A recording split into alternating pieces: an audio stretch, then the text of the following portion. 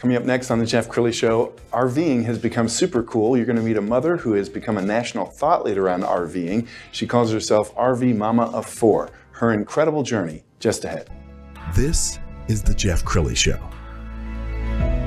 So RVing has been growing in popularity for about a decade now, but I think it really took off during the pandemic when so many Americans said, well, if we're going to isolate and it's healthy to be outdoors, why not just sell everything and go RVing? Somebody who knows something about that, Christine Swartz, she's the RV mama of four. Thanks Hi. for coming on the show. Thank you so much. I'm so glad to be here. Okay, and so you most years you travel about four months a year in the RV, but you've made a bold decision. Tell everybody what you've done. So, actually, on Sunday, as in a few days ago, we decided to go full time RV living.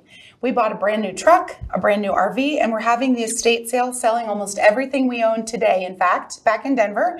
And it's a bold decision, but it is a life changing decision that I am so excited about. Yes. Because it gives us the opportunity to not focus on stuff and to focus on memories. The kids, memories, family, all the things that I hold near and dear to my heart. I love that. Let's talk about some of the adventures you've gone on with your kids. So I have taken the kids from coast to coast. It, we actually our favorite place we've ever been is Glacier National Park. The kids and I call it heaven on earth.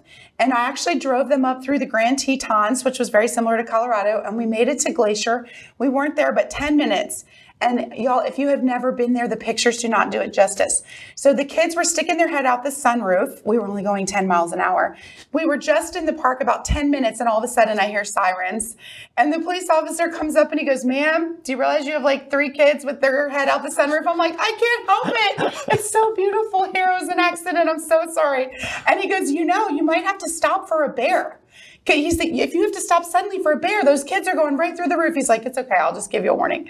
And oh. so that's our famous glacier story is that we were so excited. We barely made it in the park and, you know, already got pulled over from looking at the God's beauty all around us. I love it. And they're going to learn some stuff that they could never learn in a classroom. You just came back from the Fox station in Houston, and there was an amazing piece. Let's go ahead and roll that. Hello again, everybody. I made my way out to this beauty of an RV. I tell you what, it became more popular than ever during the pandemic, and mostly men behind the wheels. But I know a mama who is driving change and getting women behind the wheel. Christine Swartz is here, known as the RV Mama of Four. You drive this puppy all over the country, right? I do. I've taken the kids from coast to coast, and we've been more places than I could ever have imagined that we wouldn't have been able to do without an RV. Well, it's incredible. There's an entire bedroom back there for the kiddos. And then up here, we've got the master bedroom so you can even separate the family a little bit, get your downtime. But she's going to actually give me a good idea of what it's like to teach parents. You teach men and women, right? Yes, I do. I teach everybody that you can RV from start to finish at any age or stage in life. I'm going to slip this way. You go that way, and I'll meet you in the middle. Okay. All right. Let me close up real quick and I'll All meet right. you around there, Melissa. So this is what the RV actually looks like closed up. That's why it was tight in there.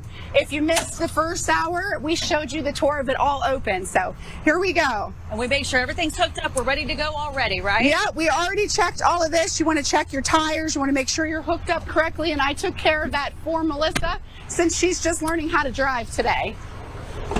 We're only staying in the parking lot, but I'm putting on my seatbelt because I'm a little bit nervous. This is a lot to handle. Are people nervous like me, especially women who say, oh my goodness, I've Let me show- only driven a car before? Yes, and you're going to want to just pull your brake off your left hand over there. Okay. Uh, let me grab it for you.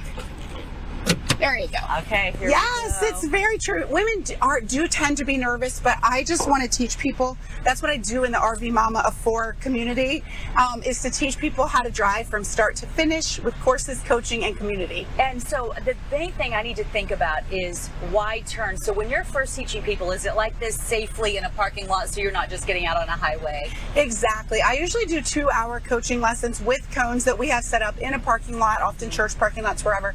And then step two after that is gas stations and backing into campsites. We'll set up cones. Stage one is safe here, where all you're going to do is run over a cone if you make a mistake. And you even teach people on YouTube how to do all of this, don't you? Tell me about how we can find you there. Yeah, so my you can find me at RV Mama of Four M A M A O F Four dot com. That's my YouTube handle. I have a Facebook right. group, everything, and we have a special giveaway if you go to my website that you can get a special deal on the RV Mama of Four community. I'm moving, you guys. I am moving this big bad boy. We're talking 35 feet behind me. Okay, so I'm going to make a left turn. Do I need to already start doing a wide turn No, here? So you're going to aim towards the motorcycle. Okay. You aim towards what you don't want to hit, and then when you know that you can safely make the turn, yep, that's perfect. so I'm doing okay. You're doing awesome. How's now you're gonna speed? you're doing great. Now aim towards this curve. You always aim towards what you don't want to hit or what you don't want to hit. Okay. Yep, aim towards that, and then I'll tell you when to turn left because you always have to get Okay, so I would have turned a lot sooner than that. So I see. So I'm, I'm overcorrecting. You're gonna aim towards those uh, curve over there. And the, the big thing here is I don't want to jackknife, and it really looks like I'm about to. I'm not. I'm okay. awesome. You keep aiming towards this curve at this Okay. angle, like you're gonna hit it, and then Okay. at the last minute you'll straighten out. You're doing awesome. And as long as you are not gonna hit it with your truck, you will never hit it with your trailer. I want to know who's coll- who my colleague at Fox 26 is who has that white truck down there, and if they could possibly be having a panic attack because I'm going for it, baby. I'm all in.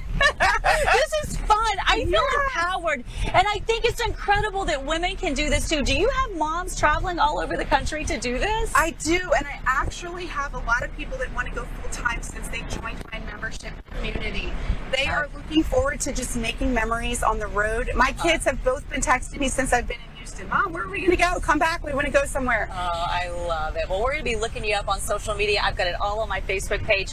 I'm going to do this big curve in a commercial break, Sally, so we won't have drama on air. Hopefully not. Studio. There we go. No, we need to see it. Let's keep it going. Although my car is very do I go to close to where you Okay, are so right now, Melissa. I'm not the white truck, but I'm very right close. So I need to watch this as this get knocked in. happens. Like right. Oh, Okay? she's gonna Okay, do it. Oh my gosh. Oh. All right. She did a good job out there. Very nice. Wow, that looked like so much fun.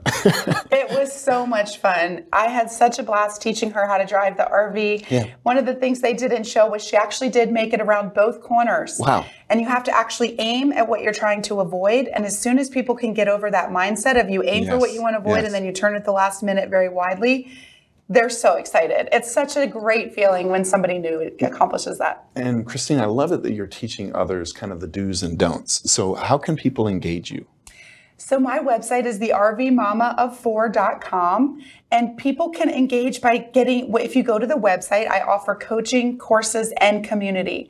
And we have a special going on right now for our viewers it's only $29.99 a month. And I love teaching people how to RV. That's why I'm here because I'm passionate about sharing that you can do this at any age or stage in life. And we use each of those pieces, the coaching courses and community, to really get people on the road, whether you're solo, married, have kids, retired, it doesn't matter. If this is a dream of yours, you can do it. That's awesome. Oh, we found a wonderful overview video. Let's go ahead and roll that. Hi, my name is Christine, and I'm the RV Mama of Four. My goal is to equip, empower, and educate women and moms that want to venture out into this big, beautiful world of ours in an RV so you can make memories one mile at a time. I want to help you gain the confidence, skills, and knowledge you need to RV solo or with your kids. So much of RVing on your own comes down to mindset. Many women hesitate to follow their dreams because it leaves them vulnerable to failure or risk. But by taking risk, you are one step closer to overcoming your fears. You can dream of making memories RVing, or you can put together a plan and take action. The worst that can happen is something may go wrong, but you'll learn from it and grow stronger in your resolve to try something outside of your comfort zone. Don't let life pass you by worrying about what could go wrong. Do everything you can to live the life you want each day. You too can RV alone or with your kids. Well, you make it look so easy. Um, I'm sure there's a lot of women out there saying, I could never do that. Okay, what do you say to those people? I hear that all the time. That is the number one thing I hear. You guys, it's all about confidence and mindset. These are not, I am not anybody special. I was a lawyer. I went to Columbia. Uh, my mom looks at me now and says, I don't know how you went from there to here. But I grew up camping and I have a very positive mindset. I put my mind to something and I can do it. And it's literally that simple. I am here to help teach you how to do it so that you don't have to go through all of the things going wrong, which is how I learned. Um, but if you have that person there by your side that can show you how to do this and when things go wrong, help you out, it just makes it that much easier. So I would just encourage you if this is something on your heart, something that you want to do, that you reach out to me at rvmamaof4.com. We have a special giveaway that I'm so excited to share with you guys. There's an actual giveaway tab, or you can go to rvmamaof4giveaway.com where we have several sponsors that are offering great prizes that are up for grabs if they draw if we draw your name. Um, but this is something available to everybody. It is it is not just something that the men can do. The women can get out there and do it as well, and you can do it with your spouse as well. I love it. You've been an amazing guest, and you inspire you inspire so many people with your adventures. And uh, I urge everybody to follow her on social media. We're going to end with the website, which is rvmamaof4.com. The great Christine Swartz. Thanks for coming on the show. Thank you. It was such a pleasure. I loved being here and talking with you. That's awesome. Uh, that's it for now. We'll see you next time.